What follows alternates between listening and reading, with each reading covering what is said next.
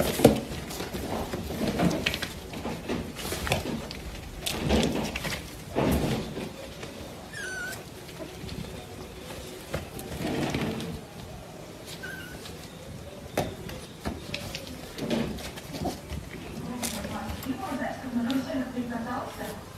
же самое, вот с вами состояние организма,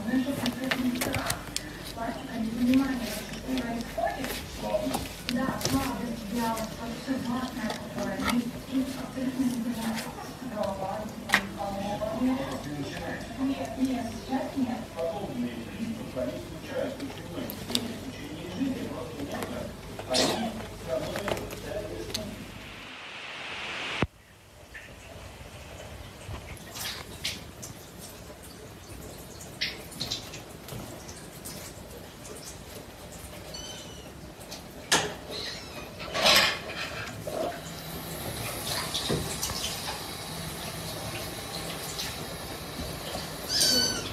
При